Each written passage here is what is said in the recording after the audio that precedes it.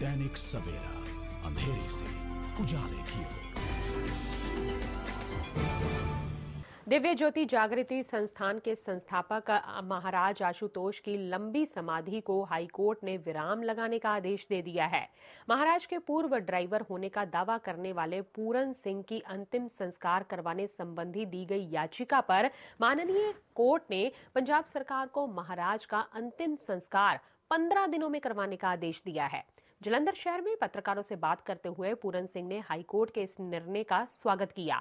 पूरन सिंह ने कहा कि हालाँकि कोर्ट ने इस मृत देह की गति कर देने की बात कही है, लेकिन दिलीप झा की डीएनए टेस्ट करवाने और महाराज का पोस्टमार्टम करवाए जाने वाली याचिका को खारिज कर देना गलत है।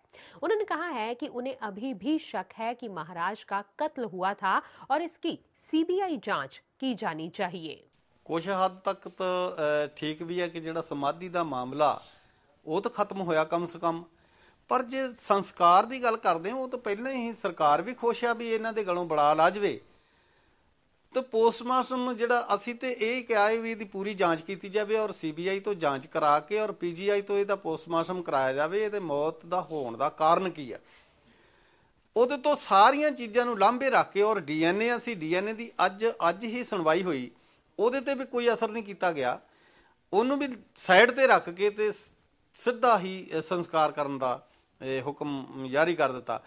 ਪਰ ਅਸੀਂ ਇਸ ਗੱਲ ਵਿੱਚ ਖੁਸ਼ ਨਹੀਂ ਔਰ ਦਲੀਪ ਨਹੀਂ ਖੁਸ਼। ਦਲੀਪ ਨੇ ਇਹੋ ਹੀ ਪਟੀਸ਼ਨ ਪਾਈ ਸੀ ਕਿ ਮੈਂ ਆਪਣੇ ਰੀਤੀ ਰਿਵਾਜਾਂ ਦੇ ਨਾਲ ਆਪਣੇ ਪਿੰਡ ਜਾ ਕੇ ਸੰਸਕਾਰ ਕਰ ਸਕਾਂ ਔਰ ਜੋ ਵੀ ਮੇਰਾ ਸਰੀਕੇ ਭਾਈਚਾਰੇ ਦੇ ਵਿੱਚ ਮੈਂ ਕਿਹਾ ਆ ਉਹ ਮੈਂ ਕਰਨਾ। ਪਰ ਉਹਨਾਂ ਨੇ ਕੋਈ ਵੀ ਇਹ ਹਾਈ ਕੋਰਟ ਨੇ ਇਹ, ਇਸ ਪਾਸੇ ਨੂੰ ਗਏ ਨਹੀਂ, ਤੇ ਉਹਦਾ, ਉਹਨੂੰ ਕੋਈ ਹੱਕ ਨਹੀਂ ਮਿਲਿਆ ਤੇ ਦਲੀਪ ਚਾ ਇਹਦੇ ਵਿੱਚ ਖੁਸ਼ ਨਹੀਂ ਹੈਗਾ।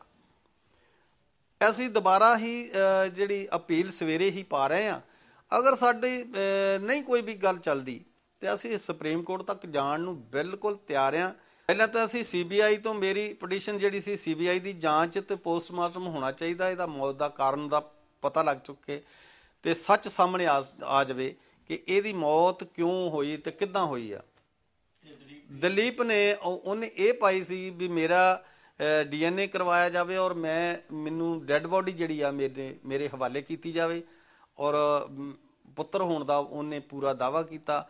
ਪਰ ਇਹ ਹਾਈ ਕੋਰਟ ਨੇ ਬਿਲਕੁਲ ਇਹਨਾਂ ਚੀਜ਼ਾਂ ਨੂੰ ਲਾਂਭੇ ਰੱਖ ਕੇ ਤੇ ਇੱਕ ਸਿੱਧਾ ਹੀ ਸਰਕਾਰ ਤੋਂ ਔਰ ਡੇਰੇ ਵਾਲਿਆਂ ਨੂੰ ਸੰਸਕਾਰ ਦਾ ਹੀ ਹੁਕਮ ਸੁਣਾ ਦਿੱਤਾ।